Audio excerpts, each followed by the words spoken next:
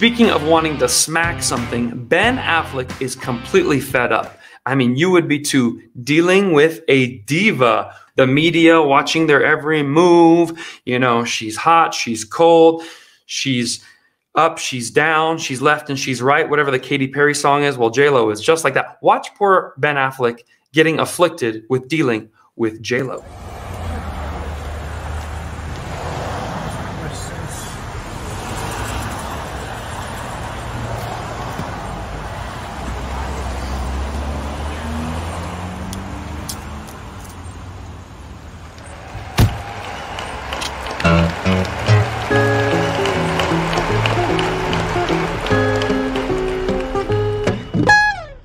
I just love that.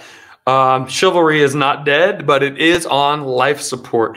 We're going to zoom in. You're going to watch the anger in which he slams that car door. She has her latte, she has her green juice, she has her new Lululemons, but he probably didn't do one thing right. I mean, we've all been with that woman who will tell you the one thing you did wrong today. Well, babe, I got the door 14 times. I got your green juice. I got you the Lululemons. We went to a nice dinner. Yeah, but on the way out the door, you looked at the hostess and said, Thank you for dinner. Um, why? Because she's cute? No, she's the hostess. Oh, so that's what you want?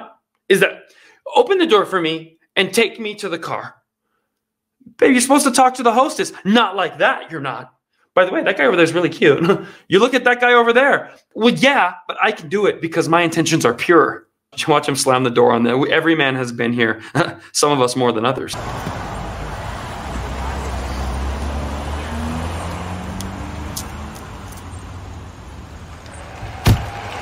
be mad what I got. I'm still, I'm still Jenny from the hood. Folks, if you're dealing with a uh, hardcore princess, then uh, then you understand what Ben is going through, and uh, and my heart goes out to you. Men, we should have solidarity and support each other through these tough times.